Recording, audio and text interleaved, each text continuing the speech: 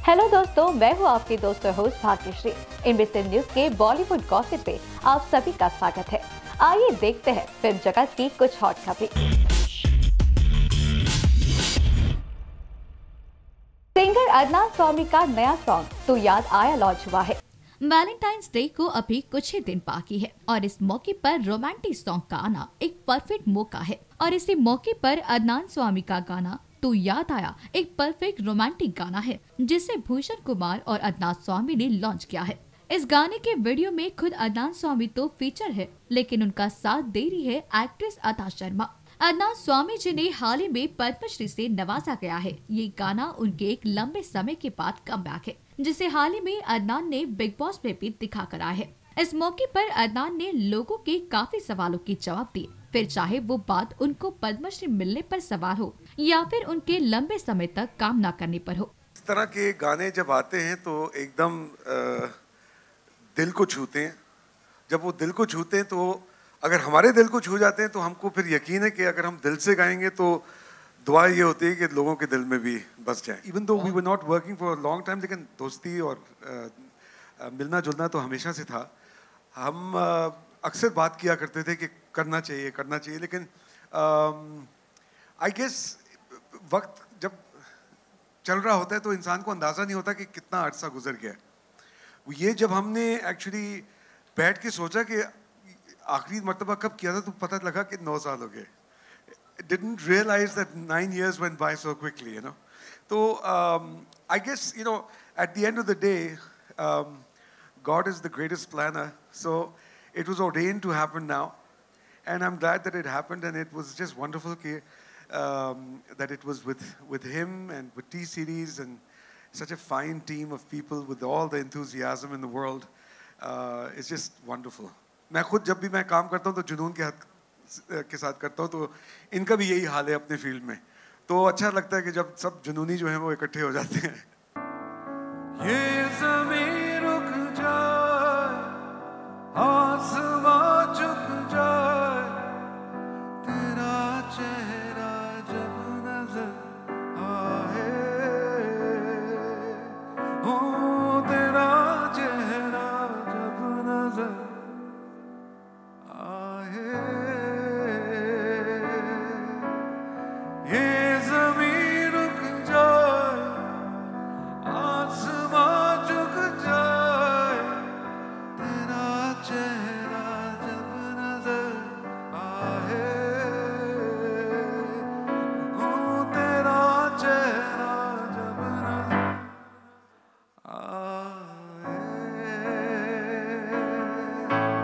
Twenty third Feb को होने वाले Dadasaheb Phalke international film festival award की प्रेस कॉन्फ्रेंस में बॉलीवुड सेलिब्रिटीज आए नज़र। ट्वेंटी थर्ड ऑफ़ फेब को Dadasaheb Phalke international film festival award होने वाला है और इस मौके पर आज मुंबई में Dadasaheb Phalke international festival award की प्रेस कॉन्फ्रेंस रखी गई। इस मौके पर यहाँ पर सिद्धांत चतुर्वेदी, रमेश सिपी किरण जुनेजा एली अवराम, चंद्रशेखर फाड़के सभी प्रेजेंट हुए थे। और सभी दादा साहेब फाड़के अवार्ड को लेकर बहुत ही एक्साइटेड लग रहे थे और सभी ने अपनी अपनी मेमोरी भी शेयर की और बताया कि हमारे लिए बहुत ही प्रिविलेज की बात होती है दादा साहेब फाड़के को लेकर।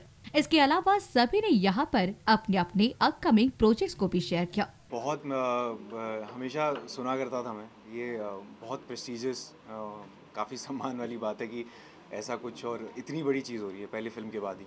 और बहुत खुशी हो रही है, बहुत ही ज़्यादा नर्वस हूँ क्योंकि दादा साहब फाल्के हैं इट्स इट्स क्वाइट ओवरवेलमिंग तो मैं मेरे पास शब्द नहीं है बोलने के लिए कुछ अभी फ़िलहाल। मुझे लगता है इंडियन सिनेमा के लिए दादा साहेब फालके इंटरनेशनल फेस्टिवल ये एक बहुत ही अहम और अटूटनीय अंग है क्योंकि दादा साहेब फालके जी ने कहीं ना कहीं एक मुहिम शुरू की थी और सिनेमा की नींव डाली थी। He was always an allrounder and उनका जो एक्सपीरियंस या उन्होंने जो नींव डाली है इस वजह से आज हम सिनेमा वर्ल्ड में इतना uh, बड़ा मुकाम और uh, आयाम हासिल कर पाए हैं।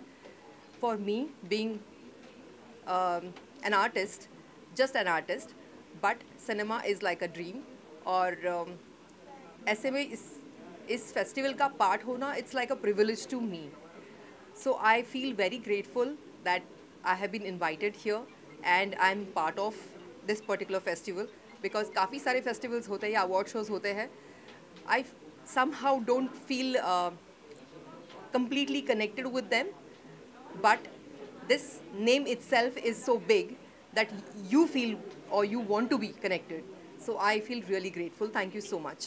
Artist Tanisha Mukherjee Santacruz के झेलम मल्टी डिज़ाइनर स्टोर्स में न्यू कलेक्शन देखने पहुँची।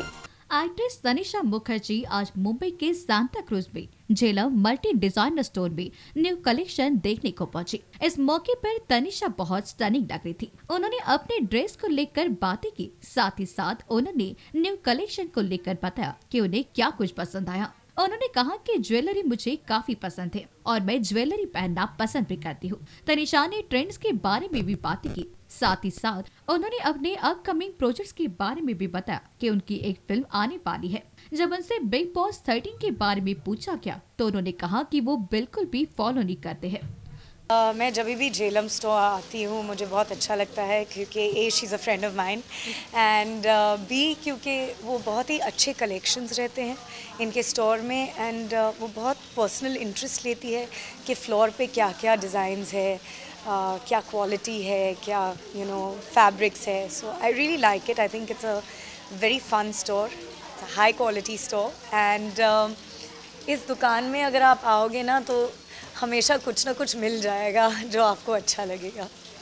एक्चुअली आज मैंने एक डिज़ाइनर पहना है जिसने ये ज्वेलरी किया है एंड uh, उस उसकी ज्वेलरी के influences are tribal influences and they very clearly evident in the jewellery she is created so मुझे ये बहुत ही अच्छा लगा कि तीन बहुत ही अलग एक्सेसरी डिज़ाइनर्स हैं यहाँ and they all using natural fabrics natural stones जो इंडिया की खासियत है वो यूज़ कर रहे हैं। तो I think India fashion is coming up and I am really really impressed and proud of the fact कि हमारे डिज़ाइनर्स हमारे कारीगर हमारे uh, जो ट्रेडिशंस uh, हैं उनको मन में रख कर ये नए फैशंस बना रहे हैं। सो इट्स वेरी कूल सब कुछ हमेशा बिग बॉस में वापस आते हैं। एक्चुअली ऑनेस्टली मैं ये सीज़न ज़्यादा फॉलो नहीं कर रही हूँ। लोग मुझे बहुत मुझसे बहुत नाराज़ है क्योंकि मैं ज़्यादा फॉलो नहीं कर रही हूँ। मुझे रोज़ कुछ ना कुछ ट्विटर पे दिखाई देता है कि तुम्हें पता नहीं, तुम ये क्यों नहीं कर रही हो, तुम वो क्यों नहीं कर रही हो, मुझे मालूम नहीं मैं क्या करूँ। So I I feel a little guilty for not following but honestly I can not comment क्योंकि मुझे पता नहीं कि क्या हो रहा है। And I feel it is irresponsible to comment on something one you don't know the the facts. So पहले अपना स्टडी करो and let me study Big Boss, then I'll comment on it. Lakme fashion week summer resort 2020 के लिए बतौर show stopper Vicky Kaushal और Janhvi Kapoor ramp पर उतरे Lakme fashion week summer resort 2020 की शुरुआत हो चुकी है और बीती शाम कर्टन रेजर के लिए फ़ैशन डिज़ाइनर सोया मिश्रा ने अपनी कलेक्शन चोला लॉन्च किया जो कंज्यूमर्स को एक्सक्लूसिव रिलायंस ट्रेंड्स पर उपलब्ध होगा यहाँ सोया मिश्रा ने चोला कलेक्शन के लिए बतौर शो स्टॉपर अभिनेता विकी कौशल और जानवी कपूर रैम पर उतरी और उनका लुक देखने लायक था। यहाँ पर उन्होंने प्रेस कॉन्फ्रेंस के दौरान सोहा के चोला कलेक्शन के बारे में बातें की। You know I big fan of his work, and um, I've only seen uh, most of his pieces in pictures. And uh, आज मुझे पहनने का मौका मिला है। Or uh, just to look at his embroidery and the kind of sequence and craftsmanship that's gone into this piece, I think it's beautiful and uh, I'm very happy to wear it. And I'm very happy that Reliance Trends has brought together so many talented and um, fresh and new designers and showcased all of their wonderful works. We have been trying to collaborate since a very long time and I'm very happy that I finally got to wear Kunal Raval. Uh, we've been really wanting to do this for the long time and uh, this is my first time ever that I've walked a ramp. Uh, forget Lakme Fashion Week, but yeah, I'm very happy to be here and to represent Reliance Trends because, like he said, it's the biggest destination for fashion in the country, and I'm extremely happy to be representing this along with the beautiful Janvi. Bollywood gossip में फिलहाल इतना ही कल फिर मिलते हैं film industry के खट्टे मिट्टे खबरों के साथ अलविदा